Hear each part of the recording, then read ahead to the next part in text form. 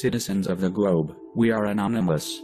During the past months, we have been watching the world gone in complete misery, with the revelations of the NSA by the whistleblower Edward Snowden, to WikiLeaks revealing the darkest chapter of the Trans-Pacific Partnership Agreement or TPP for short, to the unjustified sentence of the cyber activist Jeremy Hammond, in the aftermath of it, it's been clear, since 2009 and before, that the United States government has declared a war, a war on free press, on journalists, whistleblowers, activists, and people like yourselves.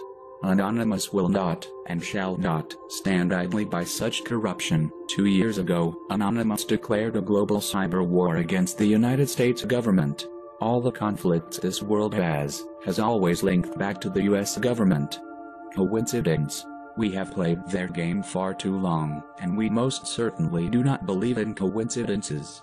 Therefore, Anonymous has declared a global cyber war against the United States government once more.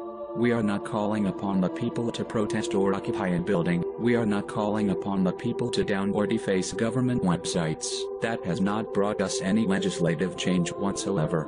We simply ask for the people to be aware for we wish to not see any more unjustified sentences such as Hammond's case. Jeremy Hammond was charged under the CFAA, the 30-year-old anti-hacker law prosecution used to torment Aaron Swartz to death. And frankly, we do not want any more deaths such as Swartz for exposing and fighting for truth.